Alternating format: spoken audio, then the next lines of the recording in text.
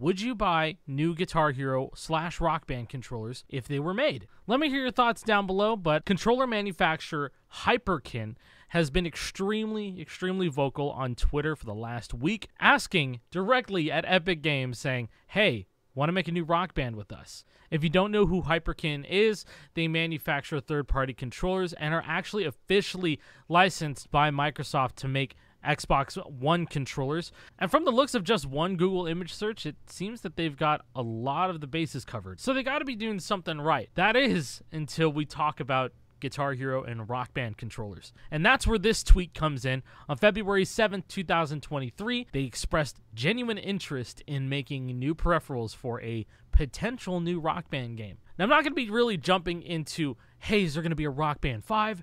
Oh, is it going to be on Nintendo Switch, on the new Xbox, yada, yada, yada. Rock Band 4 exists. It works on Series X, Series S, PlayStation 5, etc. They're actually still releasing DLC for that game. Like, literally, this week they're releasing Jack Johnson and Nicki Minaj DLC. But the problem with Rock Band 4 is that they stopped manufacturing instruments for the game in about 2016 or 2017 and then they just started shooting up in price like you do a search right now I'll, I'll prove it who? Oh oh. Oh my god. Oh my god. Oh no. No no no no. And i know for the standard video game enjoyer they just want to buy something where you just buy it plug it in or turn it on and it works. I get that. And hyperkin looks like they're genuinely wanting to fix the problems with instrument scarcity. And so the conversation starts here. There's nothing concrete yet. They just wanted to hear a lot of the community's concerns. And then even in this tweet talking about wanting a peripheral plus a new game or peripherals for existing games.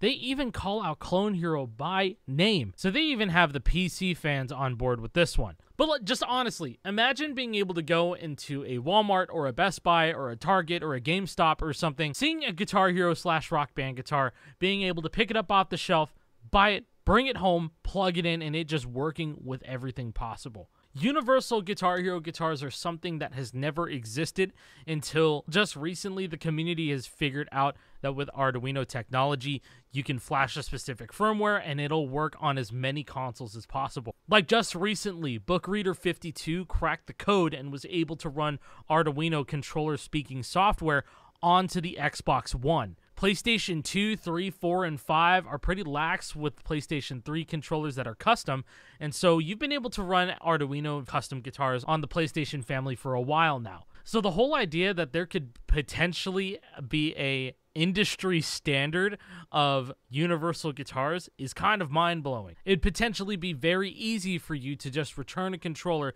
if it doesn't work. You can't get that when you spend 60 to $80 or, God forbid, $189 on a 15 year old controller.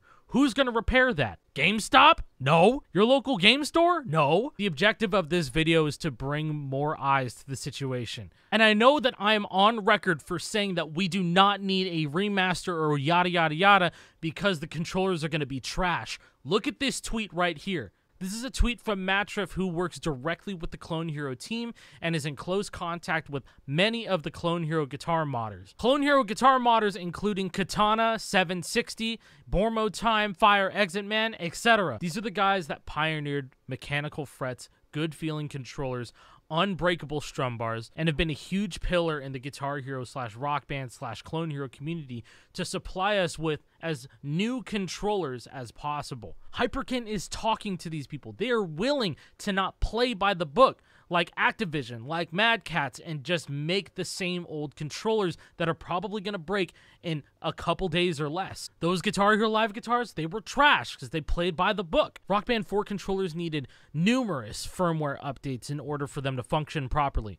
But if we have community members who have made the best controllers that I've ever used in my life, talking with an official Microsoft partnered controller manufacturer, I would take that a million days over Mad Catz or Activision saying, hey, we're going to make guitars again. No, I want people who listen. And this is why I have so much hope in this. This is our one shot to get official guitars out on the market out and stocked, ready to go worldwide potentially. And this won't start unless we keep talking about this. So for the good of the Guitar Hero genre, the nostalgia, all the hours played, the good memories, and all the good times with Guitar Hero, Rock Band, and Clone Hero, share this news with as many people as you possibly can repost, engage. We will probably never get this opportunity ever again. So please keep the conversation going and keep on talking. I hope you guys all have a great rest of your week, and thank you so much for watching.